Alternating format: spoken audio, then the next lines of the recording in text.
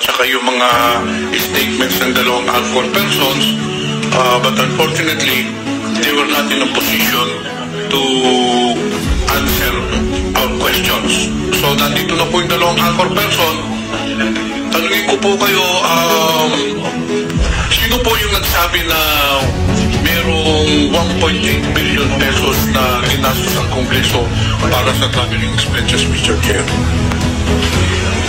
Uh, may I request uh, the honorable uh, committee members and the chair chairman to allow me to answer about the question. Uh, ako po yung nagsabi sa forma ng pagtatanong mula po sa dalawang pinagalingang impormasyon na pumasok po sa amin, particularly sa akin. And uh, hindi po yung buong kongreso ang uh, tinutumbok ng pagtatanong na yon kung hindi ang uh, Office of the Speaker ni Speaker Martin Romualdez.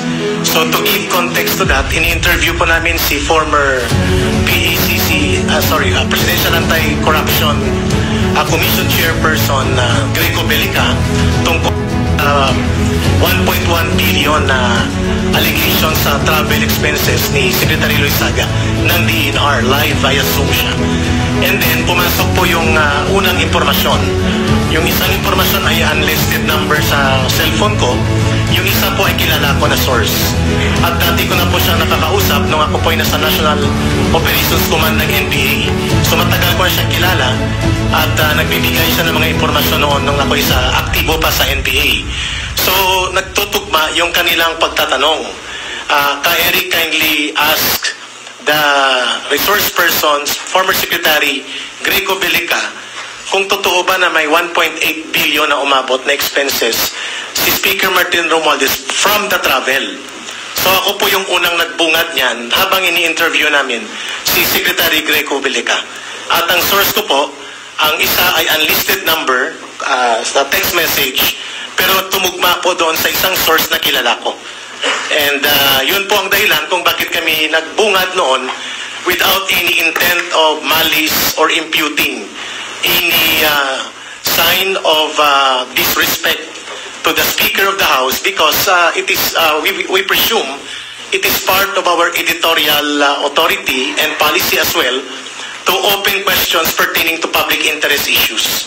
And uh, sinabi namin na sana magpaliwanag ito si Speaker Martin Romualdez or ang House of Representatives as a matter of our obligation under the editorial authority provided by SMNI sa mga anchors. Mr. Chair, Kyrie, when you delivered your statement, you presumed that your source was uh, correct. Kayo po ba ay naniniwala na may 1.8 billion pesos na ginastos ang Kongreso para sa travel expenses? Uh, Your Honor, kung maniniwala pa ako outright, hindi ibig sabihin affirmative ka agad ang posisyon ko. Yung tono po ng pag-deliver sa buong konteksto ng programa ay pagtatanong, clarification, because we want to clarify matters of public interest that are so serious, like the information na ibinahagi po sa amin. So wala po kaming conclusion doon. Alam, Mr. Chair, may we know sino po ang source ninyo? I request Your Honor to refer to the legal advice of the legal team from the SMNI. I don't think, Mr. Chair, I have to refer to the legal counsel. Kayo po ang tinatanong ko, kay Eric. Sino po ba ang source ninyo? Remember that you're under oath. Yes. And under uh, our house rules, uh, if you cannot answer my question truthfully, we can cite you for contempt and we can detain you. So again, let me ask you again, Mr. Chair, sino po bang source ninyo? Uh, again, may I request Your Honor to be guided properly on my legal rights and on my legal basis and foundation to appropriately answer the question of the Honorable Congressman so that I will be protected also of my constitutional and legal rights before I give the answer to a very sensitive request from the uh, Honorable Congressman. Mr. Chair, may, may I... Yeah, Honorable Franz Castro. Kasi Mr. Chair, yung ating dalawang lawyer dito, they're, uh, they are corporate lawyers.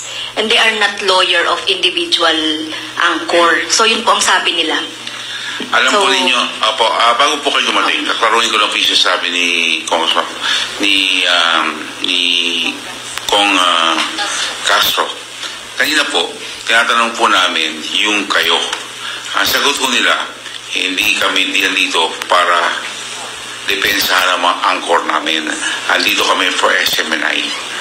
Ergo, wala po silang sinasabi na wala silang otoridad na depensahan kayo. That's why, transversely, now that we're asking you, and they already manifested under oath that they cannot, uh, uh, they're not here uh, to defend you or to even assist you.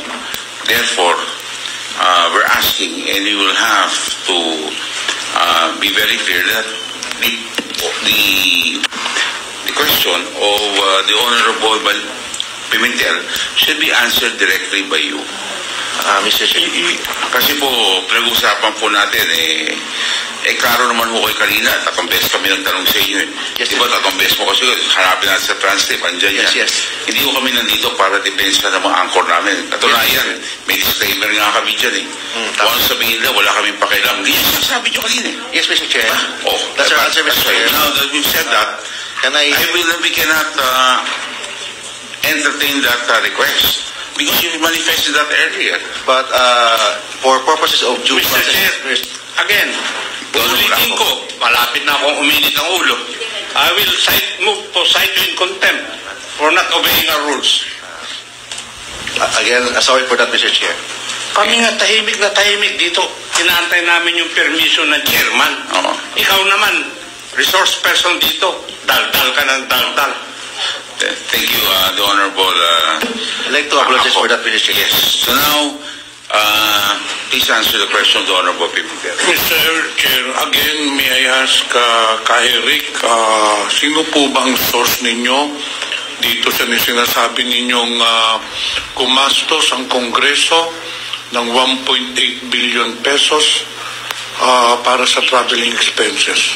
Uh, Your Honor, uh, if I may respectfully be allowed to request the honorable body, uh, this committee, um, since the question, I think, borders to my right about the protection of my source, as well as to my constitutional right, may I humbly request the committee, are my constitutional rights suspended in this committee hearing? Because it is my right, I believe, to have a legal advice on sensitive matters that require for me to be protected by my constitutional right.